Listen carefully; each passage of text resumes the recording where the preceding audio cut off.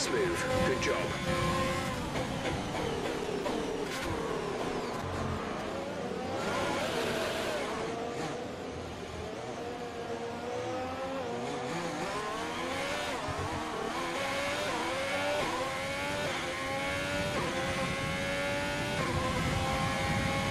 He to the car ahead.